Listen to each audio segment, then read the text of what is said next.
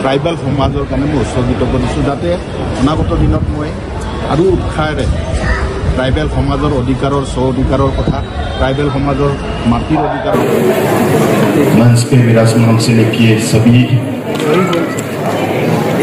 अतिथियों को मैं सम्मान करता हूँ मैं आसाम से बिलोंग करता हूँ मैं आसाम की जनजाति हूँ आसाम में लर्जत जनजाति हो गया अ, बोडो है जो जाने वाला दो दिन में दिल्ली पे यही दिवस को पालन किए थे और मैं हूँ गया second largest community of Assam tribal say so मैं धन्यवाद करना चाहता हूँ उद्योक्ता को ऑर्गेनाइजिंग कमेटी को, जिसने हमें ये मौका दिया है कि मुझे दो शब्द बोलने का। दो शब्द बोलने में, मैं दो शब्द से ज़्यादा नहीं बोलूँगा, मंत्री जी ने एक बात बोल रहा था। कि बात ज़्यादा नहीं, काम ज़्यादा करना है। और मैं चाहता हूँ कि काम ज़्यादा करना अच्छा है, बात कम करे, काम ज़्यादा करे। जो भी हो अच्छा प्रोग्राम जो अरेंज किया है कमेटी को मैं धन्यवाद जनाना चाहता हूँ। और मेरी तरफ़ से मेरा यही कहना है कि ट्राइबल यूनिटी को आगे बढ़ाना है। जाने वाला दो दिन में मेरे असम से बोरो भाई ने जो ट्राइबल यूनिटी को आगे बढ़ाने का काम दिल्ली में किया, माननीय आदरणीय प्रधानमंत्री जी उपस्थित थे, आदरणीय ट्राइबल मिनिस्टर भी उपस्थित थे, उस प्रोग्राम में हम लोग ने एक एक ऐसा माहौल देखा जो माहौल ये भारत के जितने पीछे पिछड़ा हुआ हम लोग के जनजाति है, ये जनजाति को आगे ले जाने का एक कदम माननीय आदरणीय प्रधानमंत्री जी ने किया। क्योंकि 185 साल जो मेरे भगवान बिरसा मुंडा की जो जन्म जयंती है उस जन्म जयंती के अवसर पे भारत के रहने वाले सभी जनजातियों को नहीं विश्व में रहने वाले जनजातियों में हमारे जो जनजाति के यूनिटी के बारे में आदरणीय प्रधानमंत्री जी ने भाषण प्रारंभ में बोला था।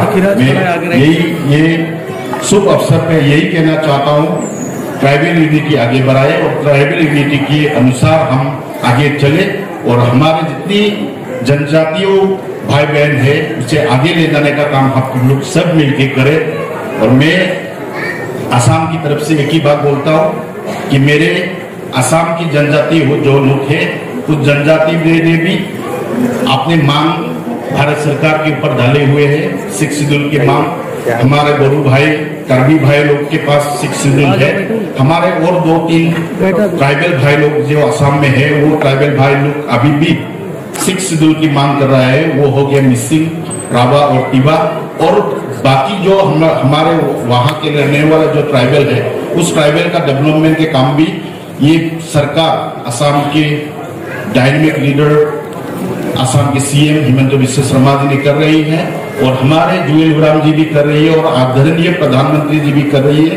मैं इसी शुभ शुभ मौसम पे ये गवर्नमेंट की सभी आदरणीय मुख्यमंत्री से लेके आदरणीय जुएल जी से लेके आदरणीय प्रधानमंत्री जी को मैं धन्यवाद जनाना चाहता हूँ कि हमारे जो मांगे हैं, वो मांगे जल्दी ही पूरे करें और हमारे आदिवासियों के और हमारे ट्राइबल यूनिटी को आगे बढ़ाए। यही दो अक्सर बोलते हुए मेरे बात यही पे समाप्त करता हूँ। धन्यवाद। सभी ऑर्गेनाइजर मैं थैंक यू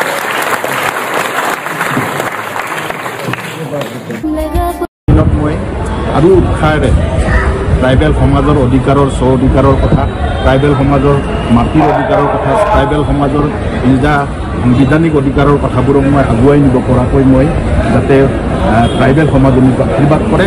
সেইকাৰণে মই এই বঁটাটো ট্ৰাইবেল সমাজৰ কাৰণে উৎসৰ্গিত কৰিছোঁ।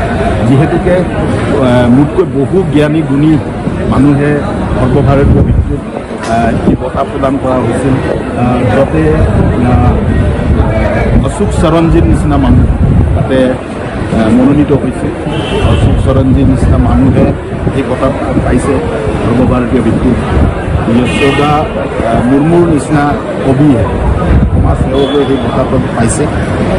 আৰু সুদীৰ্ঘ নেপালত আমাৰ ট্ৰাইবেল সমাজৰ কাৰণে কাম কৰা জনজাতীয় নেতা এজনো এই বঁটাটো পাইছে। চ' সেই সেই লাইনৰ সেই লাইনত যদি চাওঁ তেতিয়াহ'লে মোৰ মোৰ কাৰণে এইটো এটা বৰ বেছি উৎসাহিত কৰাৰ কোনো প্ৰয়োজন নহয় কাৰ উদ্যোগত আৰু ক'ত অনুষ্ঠিত এইটো দিল্লীত অনুষ্ঠিত হৈছিল। এইটো আধুনিক ইণ্ডিয়া ফাউণ্ডেশ্যনৰ এটা সন্থাৰ থ্ৰু দি এইটো বঁটা প্ৰদানটো হৈছে আৰু এইটো দিল্লীত হৈছে আৰু মাননীয় অসমৰ ৰাজ্যপাল উপস্থিত আছে আৰু ভাৰতৰ ট্ৰাইবেল এফেয়াৰ মন্ত্ৰী জুৱেল ওৰামজীও তাত উপস্থিত আছিল। আৰু জুৱেল ওৰামজীৰ হাতৰ পৰাই আমি বঁটা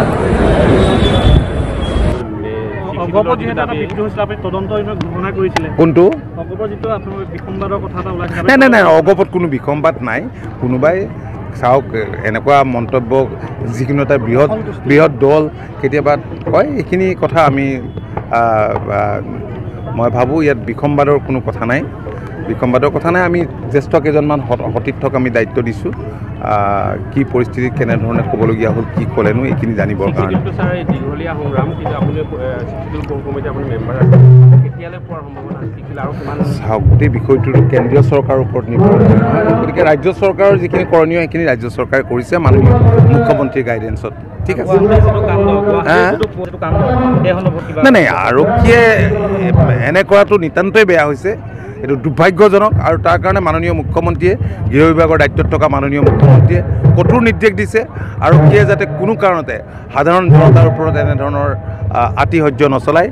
দুখীয়া নিচলা শ্ৰম কৃষিজীৱী সেই মানুহবিলাকৰ ওপৰত যাতে এনেধৰণৰ বিনা কাৰণত আতিশয্য নচলায় সেই কথাখিনি স্পষ্ট ভাষাৰে তেখেতে নিজ মুখেৰে ঘোষণা কৰিছে। মিচিং সমাজৰ বাটাক সমাৰোহত অংশ ল'লোঁ। আৰু এই সমাৰোহখন অৰ্গেনাইজ কৰিছে T M P K M M K আৰু টি এম এম কে। কেন্দ্ৰীয় নেতৃত্বও আছে। জিলাৰ কৰ্মকৰ্তাসকল আছে আৰু আমাৰ জিলাখনৰ মিচিং অধ্যুষিত অঞ্চলৰ এই কেওটা জাতীয় সংগঠনৰ কৰ্মকৰ্তাসকল ইয়াত উপস্থিত আছে। গুলুং টেমেৰা পঞ্চায়তত হৈছে। আৰু মোৰ বিধানসভা সমষ্টিৰে অন্তৰ্গত এই বৃহৎ এলেকাটো মোৰ খুব ভাল লাগিছে। ৰং বিৰং কেওফালে মুক্ত আকাশৰ তলত জাতীয় সংগঠনকেইটাৰ পতাকা মুক্ত মনেৰে উৰিছে। খুব উৎসৱমুখৰ এটা পৰিৱেশ। ইয়াত দল মত নিৰ্বিশেষে সকলোৱে এই জাতীয় সংগঠনকেইটাৰ এই সমাৰোহত অংশ লৈছে। চাওক ৰাজ্যখনত যথেষ্ট সংখ্যক মিচিং জনগোষ্ঠীৰ লোক আছে বিশেষকৈ উজনি অসমত আজি গোলাঘাটেই বোলক যোৰহাট শিৱসাগৰ ডিব্ৰুগড় তিনিচুকীয়া ধেমাজি লখিমপুৰ মানে শোণিতপুৰলৈকে।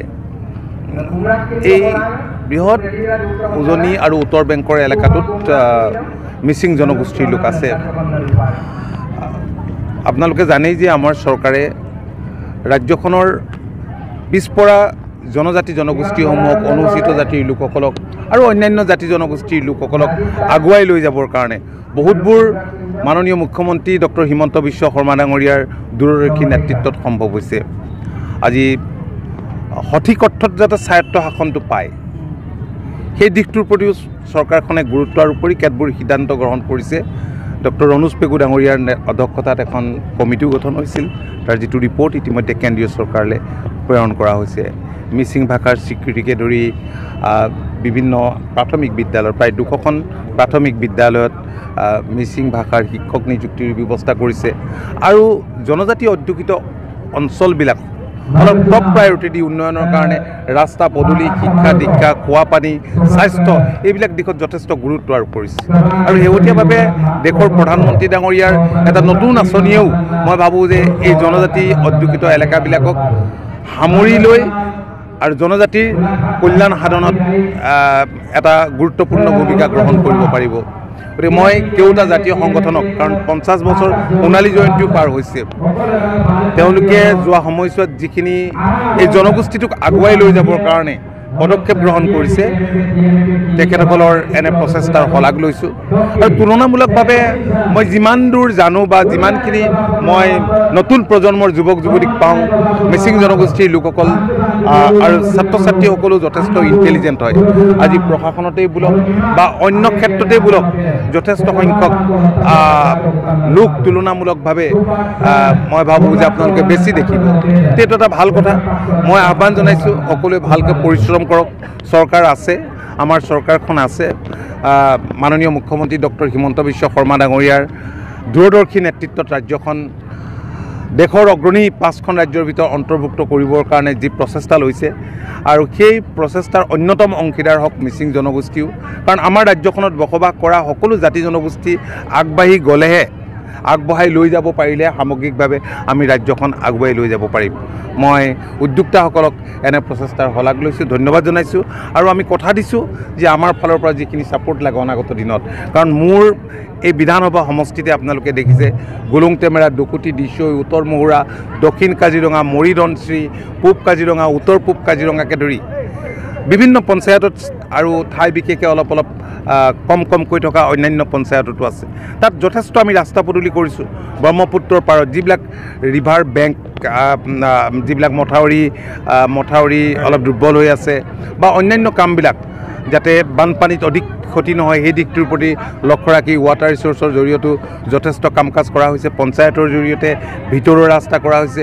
পি ডব্লিউ ডিৰ জৰিয়তে গড়কাপ্তানি লোক নিৰ্মাণ বিভাগৰ অন্তৰ্গত যিবিলাক আওতাত থকা ৰাস্তা সেইবিলাক নিৰ্মাণ কৰা হৈছে। খোৱা পানীৰ ব্যৱস্থা কৰা হৈছে। শিক্ষা অনুষ্ঠানবিলাকো ভালকৈ চোৱা চিতা কৰা হৈছে। আৰু উপাসনাৰ থলীবিলাকো ভালকৈ গঢ়ি তোলা হৈছে।